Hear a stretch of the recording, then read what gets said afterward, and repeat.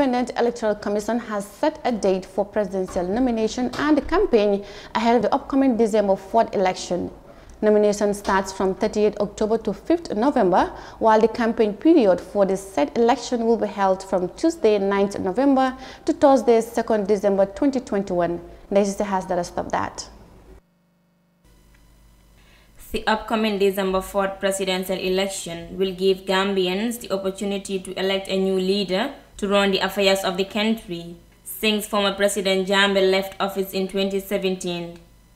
Ahead of this most anticipated election, several candidates have shown their interest in the highest office of the land.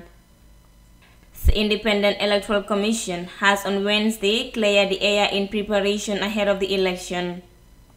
The IEC says nomination for presidential candidates will commence from 30th October to 5th November between 8 a.m. to 4 p.m. at the IEC headquarters under Chairman Ali. The election body equally says the campaign period for the election begins on Tuesday 9th November to Thursday 2nd December 2021. This election will see a contest among 18 political parties and 6 independent candidates. It is the first time such a huge number of candidates are running for president, but there could also be a reduction in this number as there is a possibility of merger between candidates and parties just like the APRC and PP alliance.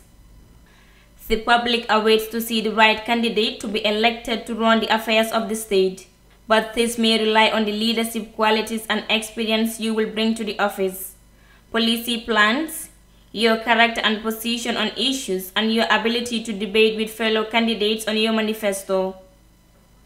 For EyeAfrica News, This is Sise.